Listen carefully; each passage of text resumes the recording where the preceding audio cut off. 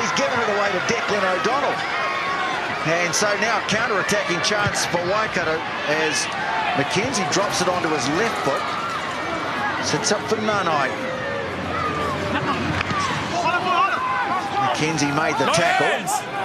And there it is, Shigino Moala. Oh, beautiful ball away to Karpik. And steps out of the tackle too. Lienert-Brown. Weber gets back and makes the tackle. Oh, heroic stuff from Weber. Feeds it up to Collier. Well, this has been some exciting stuff in the first half here in Hamilton. And now a chance for Waikato as Jacob Skene puts the fend on land, comes back at him again. And now Lienert-Brown, he's got it clear onto the line as he pops it back in front to Tucker. McKenzie mowed down and Lienert-Brown scores an incredible try. Did you see anyone back there?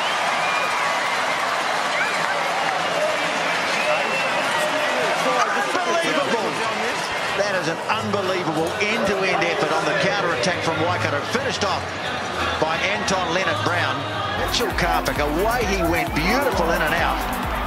Beating two defenders down the right, but look at Weber getting back. And then what we saw after this is just simply extraordinary. Well, it was Anton Lienert-Brown that he beat two. The ball starts moving. I think it could be Lienert-Brown as well. He takes off. He he plays up and he goes and gives it out to uh, Jacob Skene. It continues, Tony. You take over. Well, Skene was put on the ground, and then Stevenson coming away with it, just delaying it beautifully to Lienert-Brown. Pops it back. Who's in support but Tucker the lock. And a nice one-hander back to McKenzie. The offload away to Anton Lienert-Brown. And you'll go a long, long way to see a better try than that.